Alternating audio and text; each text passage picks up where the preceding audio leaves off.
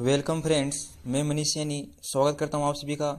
Friends, आज हम एक एंडोक्राइन सिस्टम पर डिस्कस करेंगे और उसमें हमारा आज का टॉपिक रहेगा हार्मोन। आज केवल हम हार्मोन की डेफिनेशन और उसकी विशेषताएँ देखने वाले हैं तो शुरू करते हैं फ्रेंड्स।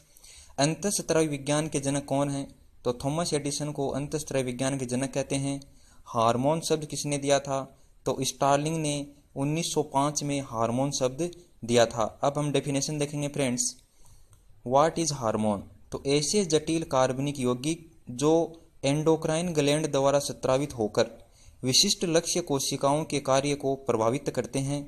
एंडोक्राइन ग्लैंड का मीन्स फ्रेंड्स अंत स्त्रावी ग्रंथियाँ जो सिक्रेशन करती हैं, उन्हें ही हम हार्मोन कहते हैं। एक नेक्स्ट डेफिनेशन है फ्रेंड्स हार्मोन सूक्ष्म मात्रा में सिक्रेट होने वाले अपोषक रासायनिक पदार्थ हैं, जो अंतर कोशिकीय संदेशवाहक के रूप में कार्य करते हैं।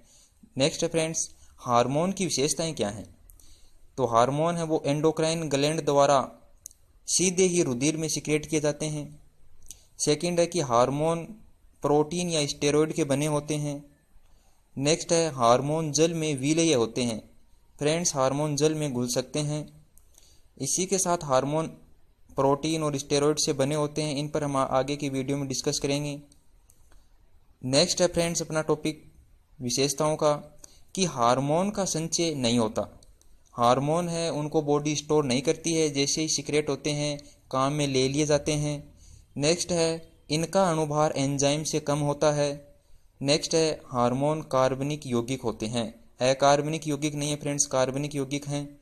तो नेक्स्ट वीडियो में हम एंडोक्राइन और एक्जोक्राइन ग्लैंड के बारे में डिस्कस करेंगे, हार्मोन के प्रकार का डिस्कस करेंगे।